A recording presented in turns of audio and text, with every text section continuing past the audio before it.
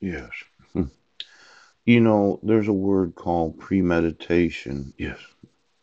The thinking out of something in advance, the forethought. Yeah. Consciously reflect upon uh, some thought or idea or act. Yes. But then there's the premeditated design. In murder cases, the term means that the murderer Mhm. Mhm. Planned the act beforehand and then consciously, Uh-huh. willfully carried out his crime. Mhm.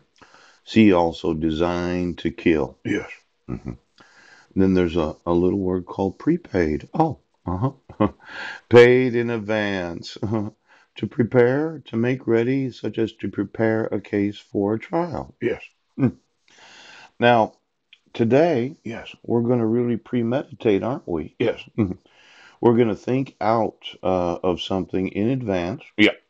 Having some forethought, consciously reflecting upon some thought or idea or act.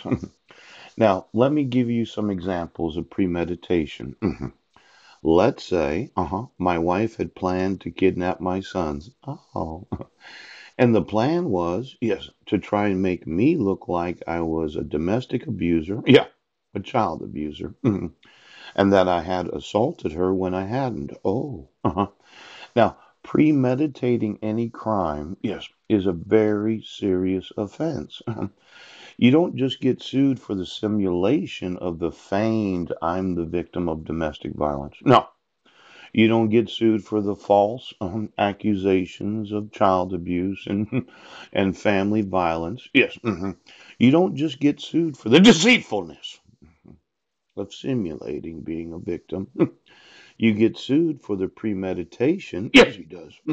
of the forethought necessary of being able to accuse an innocent American citizen. now, for every cop Yes. and all those sheriffs Yes. that had found out about simulation, Mhm. and I had used it in the context of simulating a crime in Sequim, Washington on December 31st of 2015. Yes. Simulating a crime on uh, May 4th uh, of 2012. Oh, oh, oh. The simulation of a crime that took place on June 16th of 2017. This involves some premeditation. Yes. See, to be able to employ an actor Yes. to play the Part of Paul Budnek. To be able to employ an actress Yes. that plays the part of the victim. Yes, it does. It is my belief that I'm going to sue